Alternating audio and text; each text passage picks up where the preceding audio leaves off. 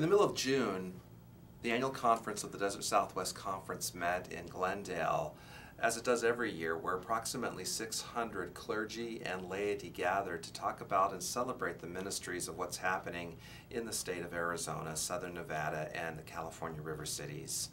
A lot of great celebration happened, discussion, uh, not so much controversy, but holy conversations that shared how God is working within our annual conference. We had three delegate, delegates go from First Church, and they're here with us today to share with you some of those experiences. Some highlights for me from annual conference were celebrating raising $2 million for Imagine No Malaria, the opportunity to celebrate with those who are being commissioned and ordained as elders in the church, and finally, the most meaningful thing to me would be when we had the opportunity to stand up together as a conference and engage in discussion about including everyone in the life of the church, truly having open minds, open hearts, and open doors to all. Uh, I really enjoyed Annual Conference this year for two specific reasons. First reason is I like the idea and the notion of us as a church getting out of the building, going out in the community, and doing things. So it's time to get out there and and uh, become part of the community. The other thing that I thought was amazing was Bishop Bob's conversation about um, including all people in the church and our resolution to uh, the LGBTQ community that uh, we are not going to conform to um, discrimination policies and that we're going to go out there and welcome everyone into our church, no matter who they are, uh, what color they are, how they live, uh, or where they're from. Some highlights of annual conference for me were on Saturday, we all wore red and we celebrated 60 years of ordaining women into ministry.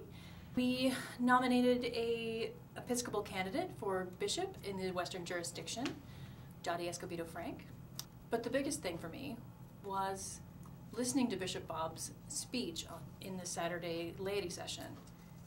He gave an inspiring message of inclusivity and hope for the future followed by the youth and Stephen Govet beginning the afternoon laity session with a resolution.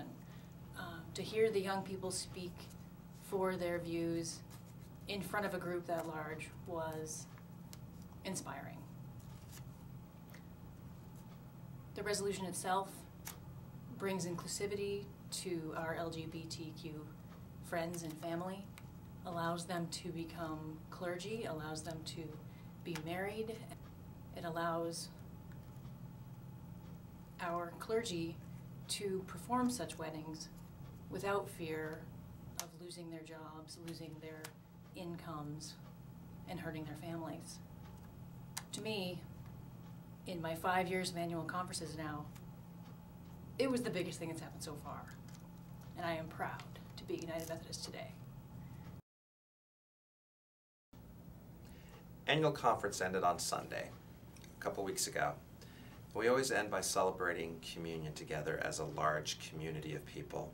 You can imagine how do you feed 600 people in a matter of just five minutes.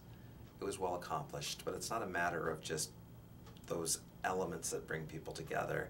It really was the word and the grace shared by our bishop as we heard a word to go forth and to infuse the very love of God before our churches and our community, that in the very act of being the body of Christ, we are a living communion.